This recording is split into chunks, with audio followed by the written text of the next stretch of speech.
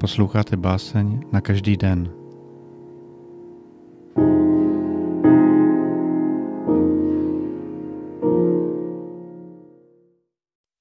Dvacátého druhého dubna 1975 se narodil český básník a překladatel Jakub Hlaváček. Básně jsou ze sbírky Lovy kovy kosy, vydalo nakladatelství Malvern v roce 2008.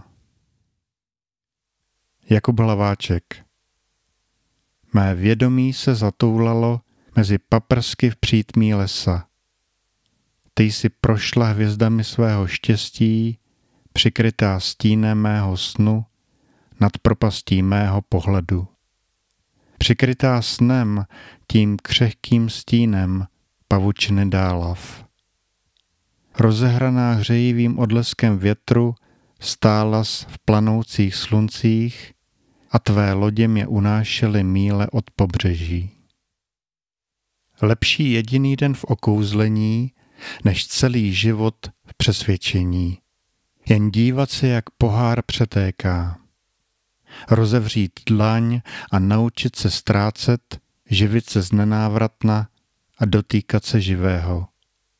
A prostoupit se vším, obvodem bolesti světa, ukrytém v radosti spásného.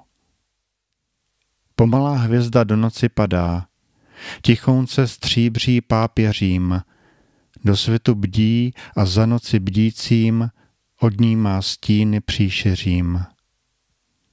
Pomalu noc se s jitrem tísní, tma znuší tká tu poutka snům.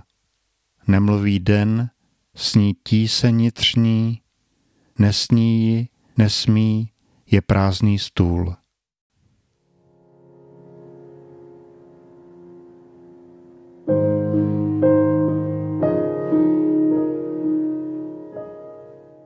Podcast Báseň na každý den můžete odebírat na Spotify, Apple, Google podcastech, na stránce České podcasty nebo Audiolibrix. Pokud chcete pravidelně dostávat můj novinkový romantický týden, všechny informace najdete na webu www.rogner.cz. Děkuji, že posloucháte a čtete.